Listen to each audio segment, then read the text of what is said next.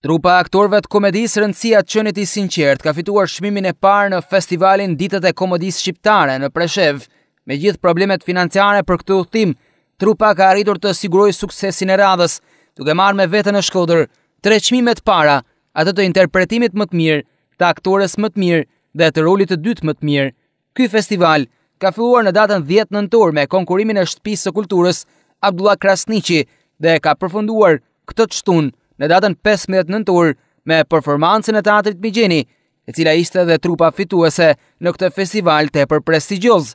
Trupat e teatrove më prestigjioz në vend janë bërë pjesë e këtij festivali, siç është ai i teatrit të Tetovës, Kumanovës, Prishtinës dhe Tiranës, Trupa e qytetit të Shkodrës është drejtuar nga regjisori Fatbardh Smaja dhe kanë marrë pjesë aktorët Enver Hyseni, Rita Gjeka, Merita Smaja, Nikolin Ferketa, Sara Smaja, Jozef Shiroka, Simon Shkreli, Ina Morinaj dhe Ergys Bamçi.